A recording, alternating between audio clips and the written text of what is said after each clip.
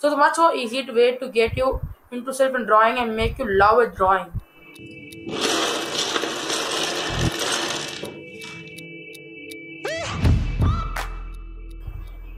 So hi guys, I'm Aswath. Uh, I'm a student of class 80. So today I'm going to be showing to you all that how to use a auto draw and how how to use a quick draw. So I'm going to be seeing the differences and similarities between both the applications. So let's get headed towards the auto draw first. So auto draw basically allows you to draw and also uh, to access many drawings.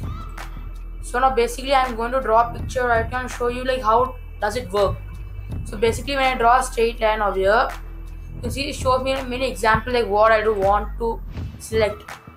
So I, I just want to set this car. So imagine see this car has been drawn here. And you also fill many colors like you can see like black. I want to fill this in black. I can also fill the background in black. So the much more easy way to get you into self in drawing and make you love with drawing.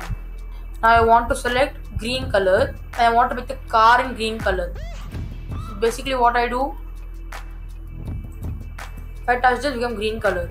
Now if I go to again colors, select black in the background see. Now full car is in green. So this is how auto draw works. Now let's go to quick draw. So quick draw basically a game, online game. It allows you to know many things about many things about pictures. So it's a diamond. Now basically what this application does it, you have to make a drawing which it gets itself and also make it correct. Like example you can see right now I'm gonna draw. So I have to just draw a simple diamond. So I'm drawing a diamond. or boomerang. just guessing. So I know. It's diamond. See like that the application works like a basically a game allows you to know many things now hedgehog